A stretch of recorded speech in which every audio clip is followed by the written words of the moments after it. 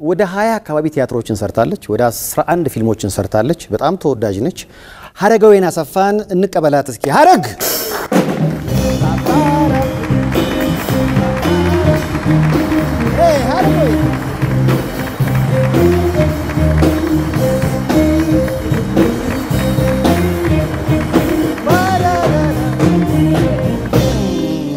ሀረግዬ እንኳን ደህና መጣሽ። እንኳን ደህና ቆየኸኝ ሰይፉዬ። እንግዲህ እስኪ ያዢ ያዢ ያዢ በደረቁ እንዳይሆን እኔ የልጅነት ጓደኛ ወዬ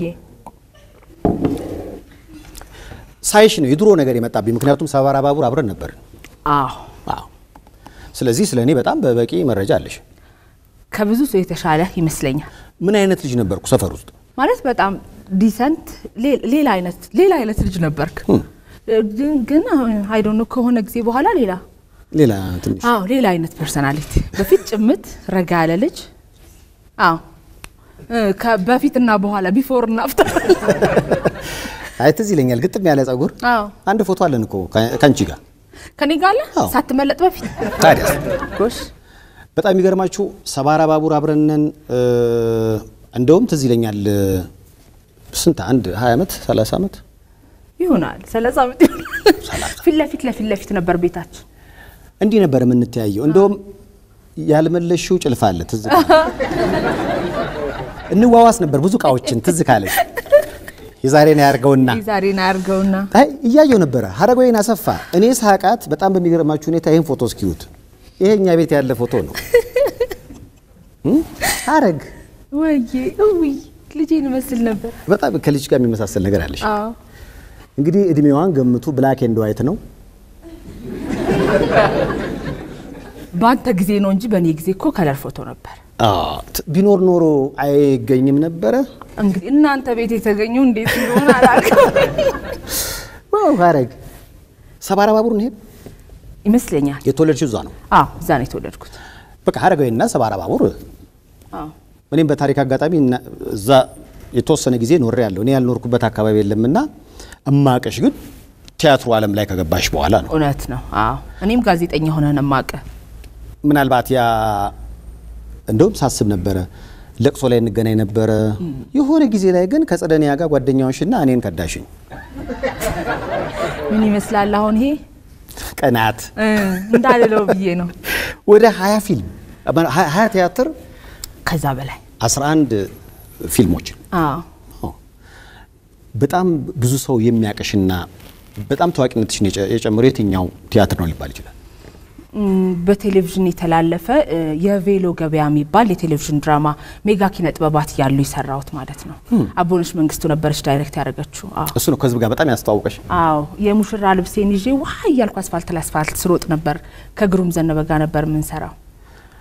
በቬሎ ካልተጋባን የሚል አይነት ሀሳብ አለ። አዎ ትርምስ ፈጥሬ እ፣ ቬሎውን እንደለካው አይሆንም ሲለኝ ቤት መስራት አለብን ሲለኝ ባለቤቴ ግሩም ዘነበ ነበር የሚጫወተው።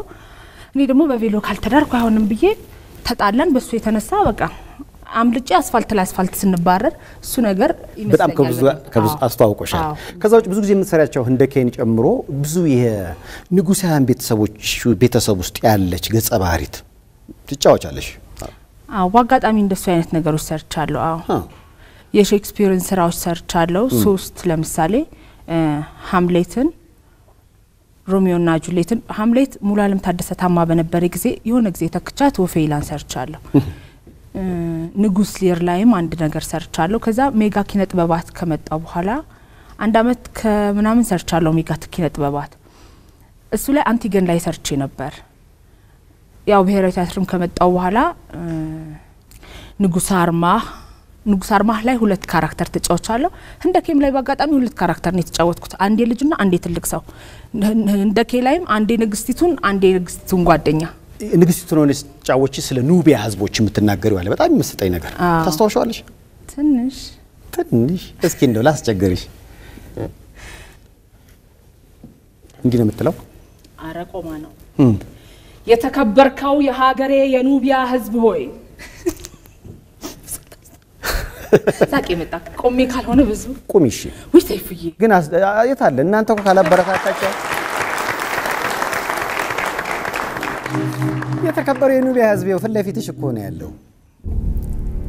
የተከበርከው የሀገሬ የኑቢያ ሕዝብ ሆይ ኃያል አምላክ እግዚአብሔር እንኳን ለዚህ ቀን አደረሰህ አደረሰን። የሀገሬ ሕዝብ አንድ እውነት ልንገርህ፣ በዚህ በንግስና ዕለት በዚህ ከአንተ ከወገኔ ፊት በቆምኩባት ቅጽበት ውስጤን የሞላው የግል ደስታ አይደለም፣ የንግስትነት ክብርና ኩራትም አይደለም። በዚህ ሰዓት ውስጤን የሞላው በዚህ በአባቴ መንበር እንድቀመጥ ኃያል አምላክ እግዚአብሔር ፈቃዱ እንደሆነው የአንተም የወገኔ ሕዝብ ፈቃድህ እንዲሆንልኝ ነው። የኃያሉ አምላክ እግዚአብሔር ፈቃድ ፈቃድህ እንደሆነው እኔም ለፈቃድህ ልገዛ ፈቃዴ ነው።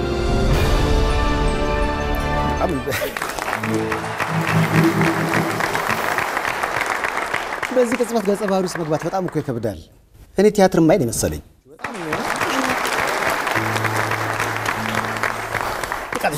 አለሽ ግርማ ሞገስ እሺ እግዚአብሔር ቀብቶሻል። እግዚአብሔር ይመስገን። እሺ አለ ደግሞ ምልሽ የከሸፈ ቲያትረኛ እና ቲያትር እንዴት እንደሚታወን እያየው ነበርና ወይኔ በድፍረት ያን ሁሉ ዘመን የቆምኩት ኧረ ተው ተው ይቅር በለኝ። አይ ትች- አይ አይ ትችያለሽ። አንተም ትችላለህ፣ ጎበዝ actor ነህ። እውነት እኔ ፊልም ስትሰራ ይቻለሁ። የእውነት ትችላለህ ሰይፍዬ። እያሞገስኩ ግን አይደለም፣ እያሞገስኩ ግን ለምን መሰለሽ ብችል ኖሮ ከእኔ ፊልም ውጭ cast ደረግ አልነበር ማንም እኮ ደግሞ ጠርቷል። ሌላ ፊልም አልሰራውማ ማን ደወለ? አንተ የተሻለ ነገር ላይ ነበርካ። ለዚህ ስለዚህ እስቲ እንግዲህ ማን ያውቃል እሰራ ይሆናል። ሳድግ እሰራለሁ። ትሰራለህ፣ ተስፋ አለና። እውነት ነው። በነገራችን ላይ ቲያትር እየሰራችሁ ብዙ ገጠመኝ አላችሁ። የወደቅሽበት አጋጣሚ ነበረ አንቺም? አዎ ናዝሬት ሄጄ ነበርና ሰርተን ስንጨርስ እንዲህ ክፍለ ሀገር ቲያትር ሲታይ ተመልካች እንዲህ ወንበር ላይ ብቻ አይደለም የሚቀመጠው፣ ድንጋይም ቢሆን አስቀምጦ ጥቅጥቅ ነው የሚለው አዳራሹ። እዚህ ድረስ በቃ መድረኩ ጫፍ ድረስ ሰው ይቀመጣል። ጨርሰን ስንወርድ ማታ ነው። ድንጋይ ተቀምጦ ነበር። ሰው የተቀመጠበትን ድንጋይ በአጋጣሚ ጫፉን ረገጥኩት፣ ወደኩ። እግሬ የተሰበረ እስካሁን ድረስ ችግር አለው ማለት በደንብ ችግር አለው እስካሁን ድረስ እና ታሽጌ ነበር። ቲያትር አቆሜ ነበረ ለተወሰነ ጊዜ ለሁለት ለሶስት ወር ያህል በጀሶ ታሽጌ ተኝቼ ነበር። በጣም የቲያትር እኮ በጣም እኔ አስታውሳለሁ። ክፍለ ሀገር ድረስ ቲያትር ለመስራት የሚሄዱ የመላኩ አሻገሬ ገጠመኝ። መላኩ አሻገሬ የሚባሉ በጣም የሚወደዱ ሰው ነበሩ ቲያትረኛና ቲያትር ያልገባበት ቦታ ነው እየገቡ የሚያሳዩትና ገጠር እልም ያለ ገጠር እና እነሱ መጡ ሲባል ህዝቡን ግጥም ይልና ዱርዬዎች ካልገባም ብለው ያስቸግራሉ። ይሄኔ አካባቢ ላሉ ፖሊሶች ይደውላሉ። ፖሊሶቹ ራሳቸው ቲያትር ምን እንደሆነ አያውቁም።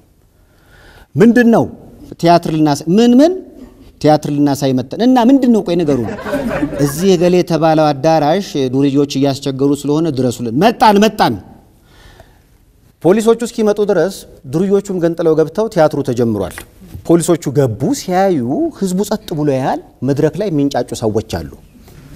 ይኸውልህ ህዝቡ ዝም ብሎ ስብሰባውን እየተከታተለ ነው። መድረክ ላይ የሚንጫጩትን ሰብስባ አውርዳቸው።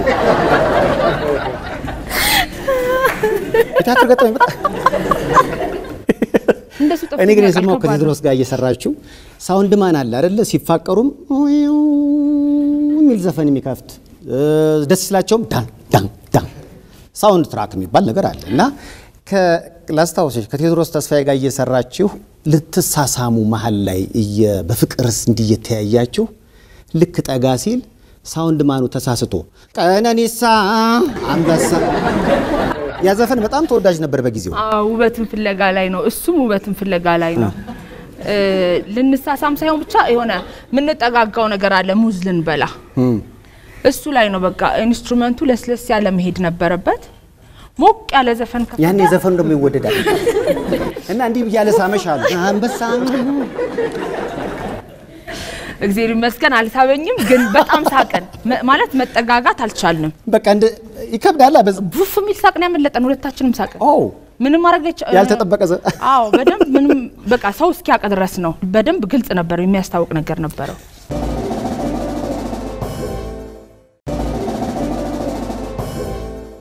ምናልባት አደረገኝ ሲባል በአንድ ወቅት የሰማሁት ነገር ትዝ አለኝ። ሎተሪ ደርሶሽ ነበር አዎ ሁለት ሺህ ላይ ሎተሪ ደርሶኝ ሁለት ሺህ ላይ ሁለት ሺህ ዓመተ ምህረት የሚሊኒየም ሎተሪ አምስት መቶ ሺህ ብር ደርሶኝ ነበረ።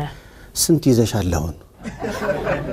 ሎተሪ የደረሳቸው ሰዎች በቃ ህይወታቸው ሲቀየር ወይም ደግሞ የተቸገሩበት ሰዓት ላይ ስለሚመጣ ይሁን ነገር ላይ ጣል ያደርጉታል ይባላል። ሀረጋዊም በዛ ብር ምን አደረገችበት? ቤት ገዛችበት። wow በጣም አሪፍ እና ብሔራዊ ሎተሪ ያልሽው አሁን የምኖርበት ቤት በሱ ጊዜ የተገዛ ነው። አስር ዓመት ያሁን እንዲህ ቆረች የቆረችበትን አጋጣሚ ንገሪኝ። ክራዚስ ኬክ ቤት ገብቼ ነበር። ማኪያቶ እየጠጣን ከጓደኛ አንደኛው ጥላሁን ታፈረ ነው የዳና ፕሮዲውሰር። ሌላ እንዲት አሁን በህይወት የለችም ጋዜጠኛ ማኪያቶ እየጠጣን ነበር። እቱ ገረመው ትባላለች። ኬክ ቤት ልብ ብላችሁ ከሆነ ኬክ ቤት ወይ የሆነ ቦታ የኔ ቢጤዎች ከገቡ ተመለሱ ተመለሱ ውጡ ውጡ ይባላል። የዛን ጊዜ ሎተሪ የሚያ- የሚያመጡት የሚያዞሩትንም ሰውዬ ተመለሱ ተመለሱ ሲሏቸው ኑ አባባ እኔ ገዛውታለሁ አልኳ። ትልቅ ሰው ናቸው፣ በደንብ በእድሜ ትልቅ ሰው ናቸውና ኑ ገዛውታለሁ። ጥላሁን አይደርስሽም አለኝ። የእሳቸው ምርቃት ይደርሰኛል አልኩና በቃ ገዛው። ዳትሰት እግዚአብሔር አየ የልብን ያህል ምርቃታቸውን የደረሰኝ ሎተሪው አይደለም። ሰውየው እንግዲህ አላገኘሻቸው። አላገኘኋቸው በጣም አስደሳች ነው። እኔ ነኝ እኮ ሴፍዬ ሽማግሌ ነበሩ። እኮ የዛን ገጸ ጊዜ ባህሪ እንኳን ውስጥ አድርጌ በሜካፕ ነበር የመጣሁት።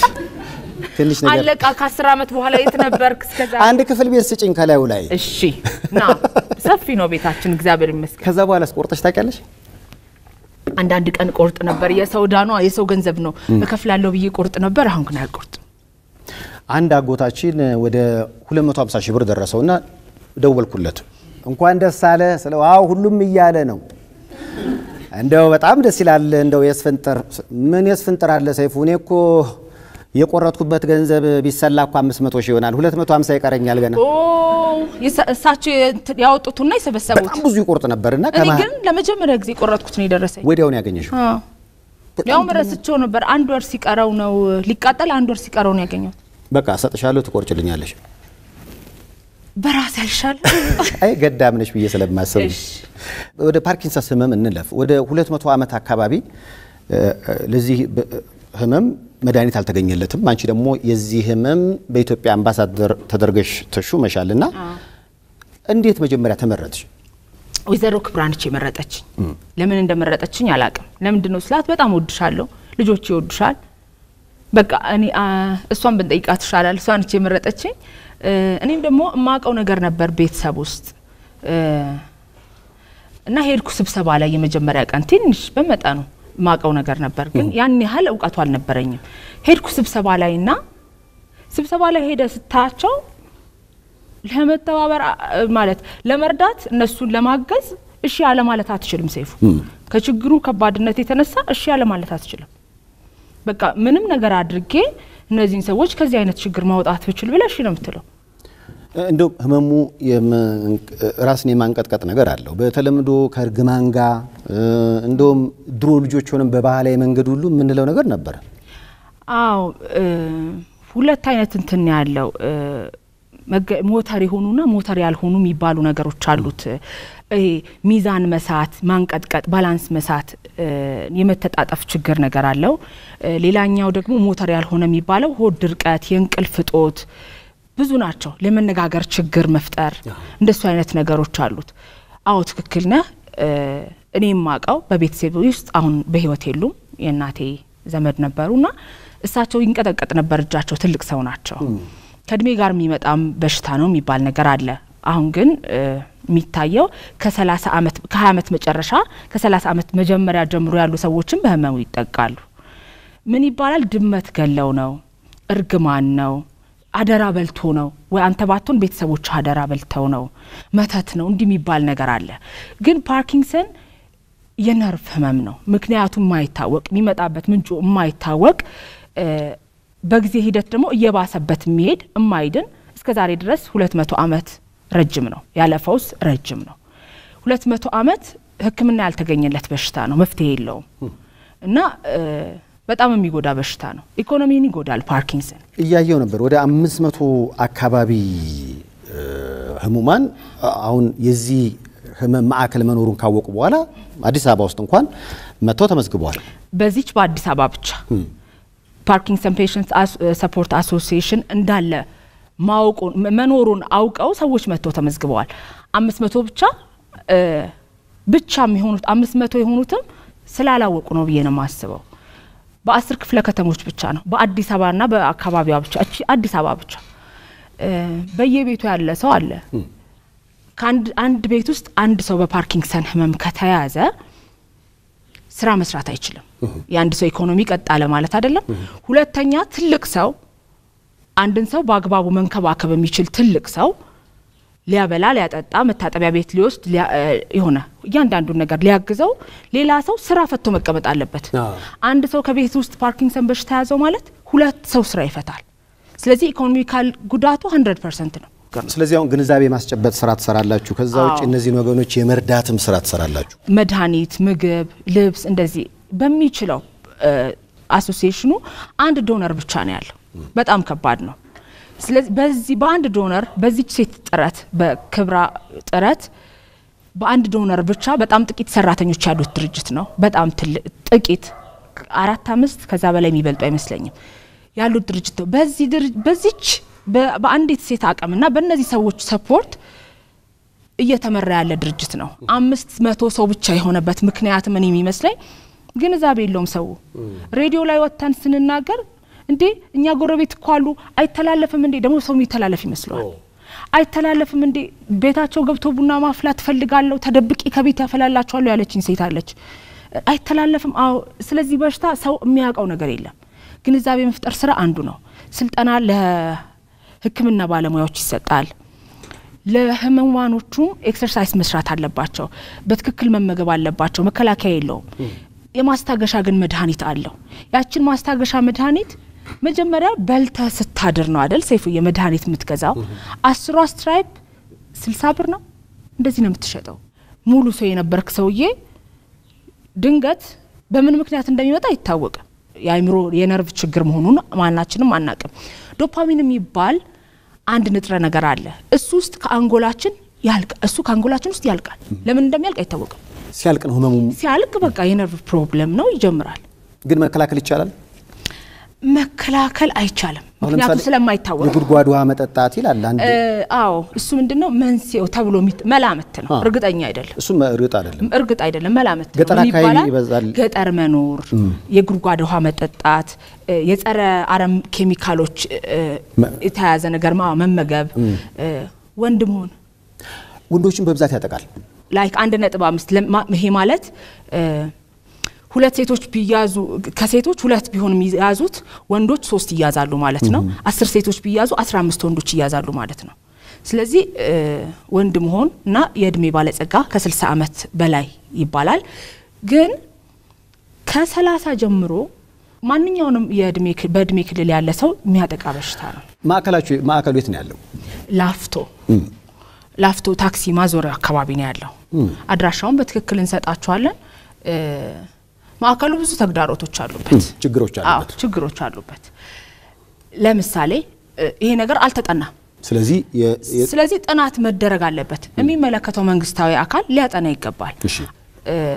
ይህ ድርጅት በአንድ እርዳታ ሰጪ ድርጅት ብቻ የሚደገፍ ድርጅት ነው። ምንም የገቢ ምንጭ የሌለው ነው። ይህ ድርጅት መድኃኒት ሰጥቶ የቢሮ ኪራይ እነዚህን ሰዎች የሚሰበሰቡበትን ነገር አድርጎ ይህንን ማድረግ ይችላል። ይሄ ድርጅት በዚች በአንድ donor በአንድ አቅሙ ስልጠና ይሰጣል፣ ምግብ ይሰጣል፣ መድኃኒት ይሰጣል። በተቻለ አቅሙ ማለት ነው። ምንም በዜ- በዜሮ percent ጥናት የሚመለከተው አካል ብለን ያሰብ ነው እኔ ብዬ ያሰብኩት ስብሰባ ላይ አምባሳደር ሆኜ ከተመረጥኩ በሁለተኛው እንደዚህ ስብሰባ በሁለተኛው ስብሰባ ማለት ነው ሚዲያዎች ጠርተን እንደዚህ የግንዛቤ ማስጨበጫ ስራ ስንሰራ እርግማን አይደለም መተት አይደለም እንዲህ ያስፈልገናል እያልን በሬዲዮ ሰዎች እንዲናገሩልን መግለጫ ስንሰጥና ከተለያየ የመንግስት ተቋማት ሰዎች ጠርተን ነበር። የዛን ጊዜ ጥናት እናንተ አስጠኑ አሉ። እች ሴትዮ እኮ አንተ ለሀገር ባለውለታ ናት። የሚመለከተውን አካል ስራ ለብቻዋ ጀምራለች፣ እየሰራች ነው። ልንደግፋት ይገባል፣ ልናግዛት ይገባል። ጥናት አስጠኑ። አትችለውም። ጥናት በጣም research center ያስፈልጋል አይደል? ብዙ ወጪ አለው። ብዙ ወጪ አለው። ስለዚህ በአጠቃላይ ድርጅቱን መርዳት የሚፈልጉ እዚህ ጋር አድራሻው አለ። በዚህ አድራሻ ይህንን የፓርኪንሰንስ ማዕከል መርዳት ለምትፈልጉ በአጠቃላይ ይፋ አድርገናል ሁሉንም አድራሻ። በዚህ እርግጠኛ ነኝ ብዙ ደጋግ ኢትዮጵያውያኖች ያሉ እጃቸው ይዘረጋል ብዬ አስባለሁ።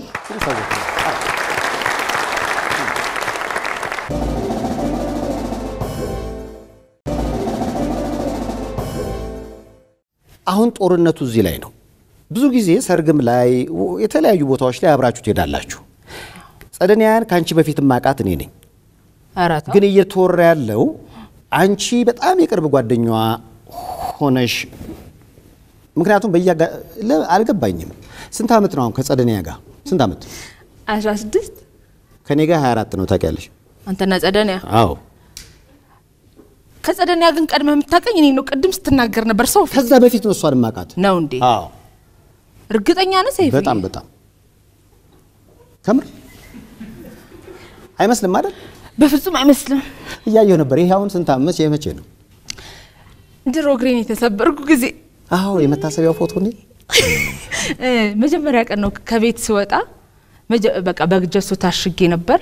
ጫማ ማድረግ አልችልም ነበር። በነጠላ ጫማ ነበር መሄደው። አየር እንዲነካኝ ይዛኝ ወታ ነው። አዎ፣ በጣም በጣም ጓደኛሞች ስለሆናችሁ አዎ ሰይፍዬ ጓደኛሞች ነን። እስቲ በተከታይነት ልደት ሁሉ አብራችሁ ነው የምታከብሩት? የልጆቻችንን አዎ በጣም በሚገርም ሁኔታ ከሰው ጋር ሳወራ ግን እንዴ እሷና ጸደኒያና ሀረግማ አይለያዩም ይባላል። በጣም በሚገርም ሁኔታ በቀን አንዴ ከኔ ጋር እንደዋወላለን። ከአንቺ ጋር ስንት ትደዋውላላችሁ? ለምን ራሷን አንጠይቃት? ማን ነው በጣም የቅርብ ጓደኛዋ? ልደውልላት? ማን የቅርብ ጓደኛሽ በላ። እስኪ ሴፍዬ ብዙ አታውቃትም፣ ግድ የለህም። አይ ህዝቡም እንዲያውቅ እፈልጋለሁ። ምክንያቱም የልብ ጓደኛዬ ነች። ግን እየተወራ ያለው በአንቺ የጓደኝነት ስሜት ነው። ለምን ልደውልላት? ደውልላት እስኪ።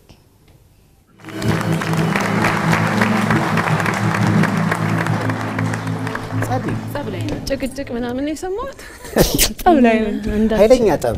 ለምን ኢንተርቪዎች ላይ አብራችሁ እና እናደዳለሁ። እኔ ደግሞ ትንሽ ነገር ነው የሚበቃኝ ብው ለማለት በሰላም ብው ጸደኒያ ማን ነው በጣም የልብ ወዳጅሽ? እኔ ወይንስ ሀረጋዊ? ምን ለማለት ከምን በመነሳት ነው ይሄ? ስንት ዓመት አውቃታለሁ ስትሰማት 24 ቀበሌ እኔ እንጃ። ይሄኛው ሊሆን ይችላል። በእርግጠኝነት ግን ማን ነው በጣም የቅርብ ጓደኛ? አይ እንግዲህ እንዴት ነው መፈተኛ ነገር እናዘጋጅ መሰለኝ። ተይ እንጂ ካልሆነ የምትስማሙ የምትተማመኑ አልመሰለኝ። ስለ ራስሽ ጠይቂን ቦታውን እለቃለሁ። አዎ እሱ ጋር ሆኜ ነው የምጠይቀው።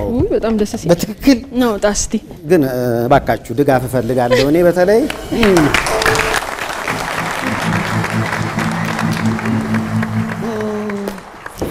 ለጸደኒያ እርግጠኛ ነህ ግን? ለመሰለሽ እኔ ሜጋ እያለሽ አውቃለሁ። ከሜጋ በፊት ማቅሻለሁ። ምክንያቱም እናንተ ቤት ላም ነበረ፣ ማዘር ወተት ተከራይታ እኔን ነበር የምታጠጣ ሕፃን እያለሁ። ከዛን ጊዜ ጀምሮ ነው እውነት ስንገናኝ ሁሌ ማን የጸደኒያ የልብ ወዳጅ ምናምን ስንባባል እርስ በርስ እንበሻሸቃለን። ለምን አትገላግኝ ነው? አይ በቃ ልገላግላችሁ። ጥያቄ? እያሰብኩ እንግዲህ ልጠይቅ ነው ማለት ነው። እሺ ቀጥይ። የት ነው ሙዚቃ የጀመርኩት? ቤት ውስጥ ደብረ ያሬድ X እሷስ ደብረ ያሬድ ነው የጀመርኩት ሙዚቃ። እኔ የጫማዬ ቁጥር ስንት ነው? የግራሽ 47 አርባ ሰባት ቦታ ይቁረጥና የአርባ ሰባት ነው። አይ ቀኝሽና ግራ ይለያያል ብዬ ነው። ያን ያህል አቅሻለሁ። ስንት ቁጥር ነኝ እኔ? ሀረገወይን አሰፋ 38 37 ይሄ- ይሄ ነው የወንድ የወንድ ጥያቄ አድርጊው። እሺ የወንድ የወንድ ጥያቄ ላርከው። ምክንያቱም ስንት ቁጥር የጡት መያዣ ነው አይነት ጥያቄ እንዳይመጣ እሺ በጣም እንስሳ እንደምወድ ታውቃላችሁ ሁለታችሁም። እንስሳ እንደምወድ ለዛም ነው የምትወጂኝ። ቆየ የትኛውን እንስሳ ነው የምወደው? የትኛውን እንስሳ? ጥንቸል ሰይፉ አንተን ኖ። አንተን አላልኩም ውሻ ጸድዬ መለሰችልኝ። እኔ ግን በግ እንደምትወጂ ነው የማውቀው። አህ ለአመት በዓል ሲሆን ነው በግ ለአመት በዓል ሲሆን ነው። እሺ፣ ስንት ሲዲዎች አሉኝ? ስንት ሲዲዎች? አምስት። ልታብራራልኝ ትችላለህ? እሺ፣ ወደ ኋላ እስከ ማ ከሜሪ አርምዴ ጋር አንድ ስራ እንዳለሽ አውቃለሁ። ቆይ መከ- ክብር የመጀመሪያው አስታውሳለሁ ሜጋ እያለሽ ይወጣል በማለ እሺ ከዛ ደግሞ ለእኔ የተዘፈነው ዘፈን አታላይ አታላይ በትክክል ሁለተኛው ነው። እሺ ሶስተኛው ደግሞ አሁን የሰራሽው ነው መጨረሻ ላይ። እሺ ሀረገወይን አሰፋ ስለዚህ ሁለት ወር ወደፊት የሚወጣ ነው። ሀረገወይን አሰፋ አስር። አስር?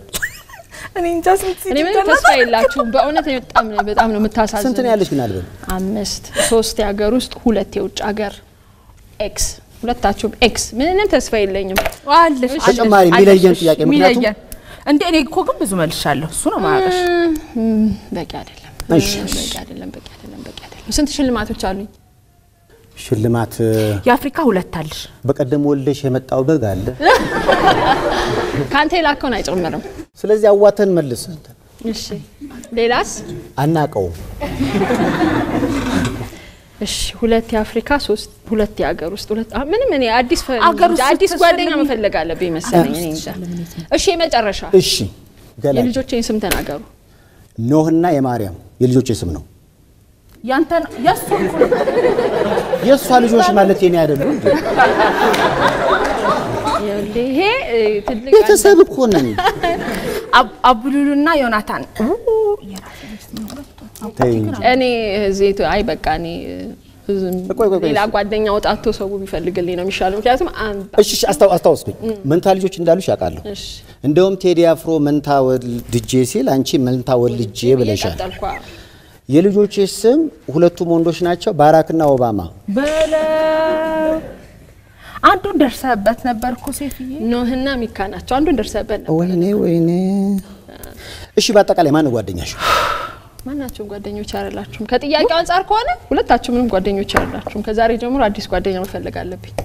እኔስ ሰይፉ ምንም አናቅሽም ማለት እሺ የምወደው ምግብ ምንድን ነው? አንቺ ምን ጠልተሽ? እሱን እውነት ነው። እሱ ልክ ብለሃል። ዱባ አትወድም።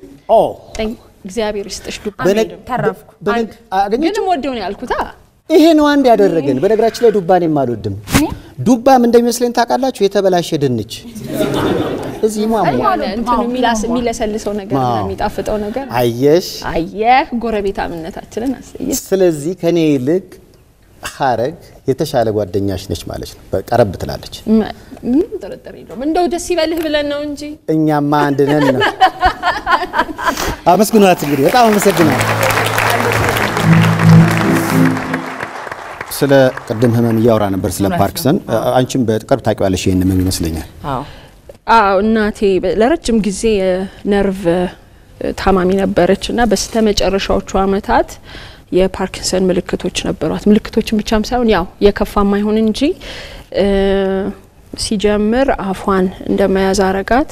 ከዛ በኋላ ጭንቅላቷን መቆጣጠር አትችልም ነበር። ከዛ እጇን መታዘዝ አይችልም ነበር። so ምንድን ነው ያለው አማራጭ ያው ሰው ቋሚ መደበኛ መመደብ ነበርና ለአጭር ጊዜም ቢሆን አውቀዋለሁ ያው እኛው ቤተሰቡም ነገሩን እንዴት መቆጣጠር እንደምንችል ስለምናውቅ ግንዛቤውም ስለነበረን ያው ነገሩን በቀላሉ በቀላሉም ባንለውም ያው እንደምንም ተቋቁመነዋል። ግን ብዙ ሰዎች አያውቁትም።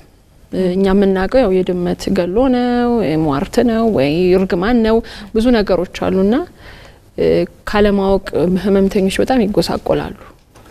ስለዚህ እንግዲህ ሁላችንም በጋራ በመሆን አንደኛ ግንዛቤ ማስጨበጥ ነው፣ ሁለተኛ ህሙማንን መርዳት ነው። የጋራ መልእክታችን ይሄ ነው። ሁለታችሁንም አመስግኜ ልለያችሁ ነው። እግዚአብሔር ያክብራችሁ።